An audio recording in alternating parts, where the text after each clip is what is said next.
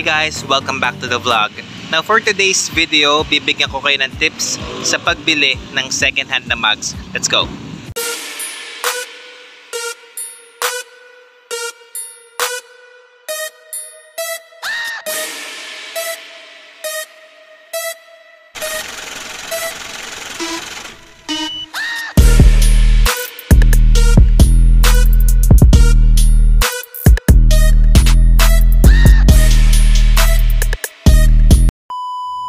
I've been buying and selling car parts for for a living for a couple of years now. Siguro naman more or less I can I can give you tips para mag-guide kayo kung paano bumili ng mga second hand na na mugs. It's very simple lang naman guys. Four things lang naman yung tinitingnan ko kapag bibili ako ng mugs. First is syempre dapat kasya. Second is dapat walang bengkong. Third is walang wiggle. And the fourth thing would be dapat walang crack. Napakasimple lang naman. Pero syempre, pag first time buyer ka, paminsan, meron kang mga namimiss na i-check. So, on this video, tuturuan ko kayo kung paano. Iurong muna natin ng konti itong kotse para ma-demonstrate ko kung ano yung ginagawa ko kapag bumibili ako ng mugs. I-atras natin ng konti yung kotse doon para meron tayong space. So I switched over to the GoPro para magamit ko yung pareho kong kamay para ma-demonstrate ko sa inyo na maayos. The first thing that I do is I check kung kasya. Yun yung una kong chine-check. So for that, syempre, tatanggalin natin yung gulong, yung isa sa mga gulong. Tinaas ko na yung kotse. So yan.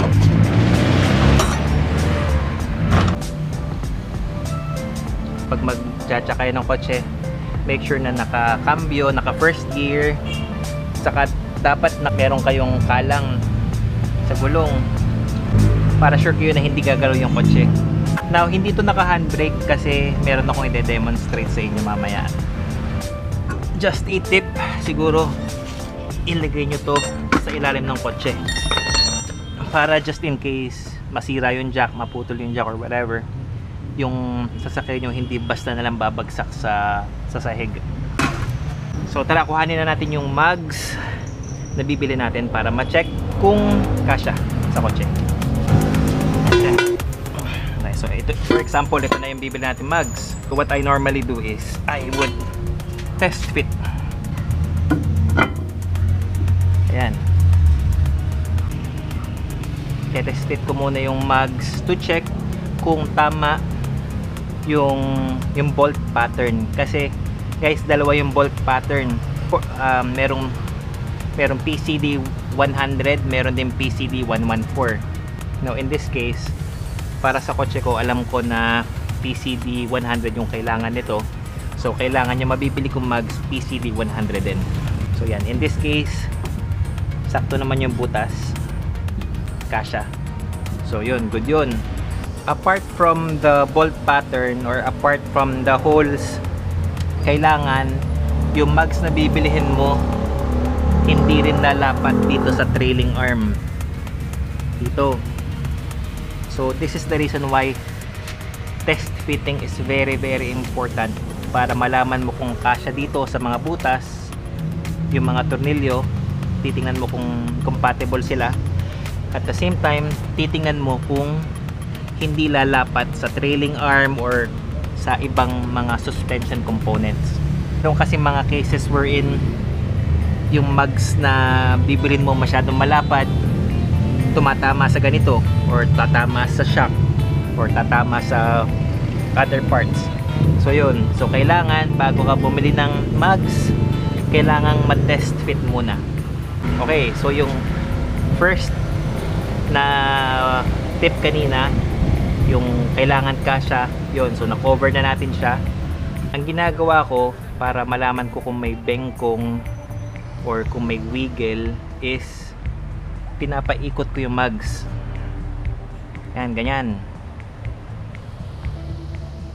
Now kung may bengkong yan if you observe really really close kapag pinaikot mo yan kung may bengkong yan parang itong labi ng mugs parang gumagalaw siya pag pinapaikot mo. Parang gumaganon. So dito obserbahan natin. So steady naman. Hindi siya maggalaw na ganon. Hindi siya gumagalaw. Now dito mo rin malalaman kung may wiggle yung yung mugs na bibilhin mo. Kasi kapag pinaikot mo siyang ganyan kung may wiggle yung mugs ang mangyayari dyan yung gulong sumasayaw habang pinapaikot mo. Kunyari namiikot siya. Ganun. Yan. Kung may wiggle yan gumaganan yan.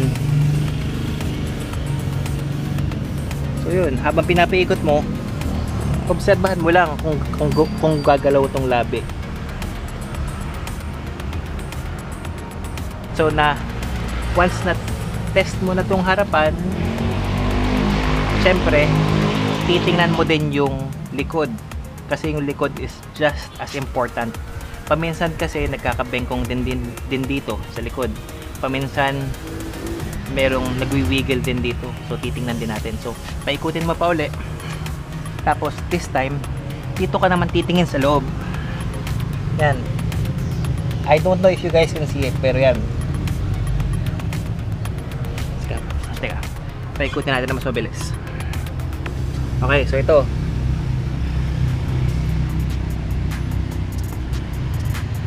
Okay. So kung may wiggle yan, gaganan yan.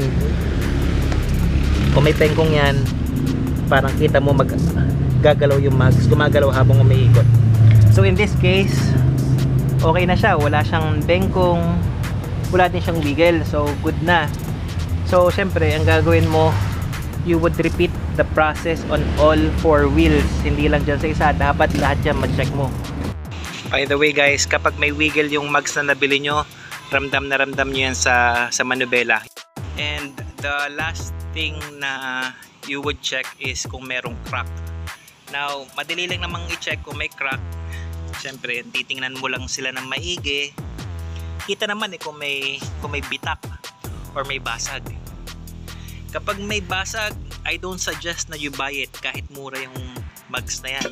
Kasi delikado nang gamitin. So yun, titingnan mo siya sa harapan kung may basag dito sa palibot. Tapos titingnan mo din yung loob. It's very it's just as important. Titingnan mo dito kung may basag sa loob. Yan.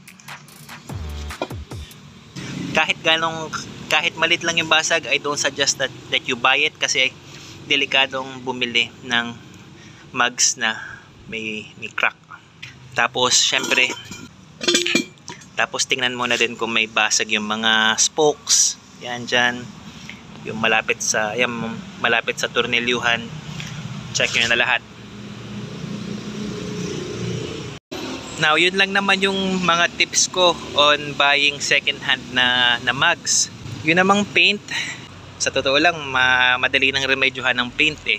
Pero yun nga, kapag let's say may basag or may wiggle or may bengkong, yun yung mga mahirap remedyohan. Minsan, pag mayroong mga ganun, pag, yun nga, pag may bengkong, may wiggle, or syempre pag hindi kasya yung, yung mugs, baka hindi mo pa magamit. So yun talaga yung mga importante na i-check mo bago ka bumili. Again, yung, yung paint, madali nang remedyohan yung paint. Oh, and one last thing na muntikan ko na makalimutan, syempre, kapag na na i-test fit mo yung mugs, tingnan mo kung sasabit sa fender kapag naka kapag nakakabit na. Ito, for example. Yan oh. So yung mugs na yan medyo malapad.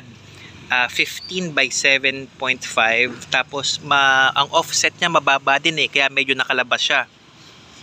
So yan, as a result yan oh, yan yung labas niya sa sa fender. Pag medyo loaded yung sasakyan, may chance na sumabit sa sa gulong mo.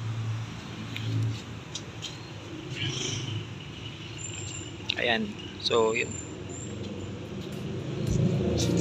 this would be a good time to end the vlog. Sana makatulong tong video na to para sa mga tao na gustong bumili ng second hand na mugs.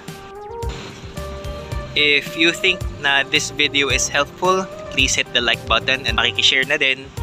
And also guys, please subscribe to my channel because as I always say, I make these videos just for you. Bye-bye now. see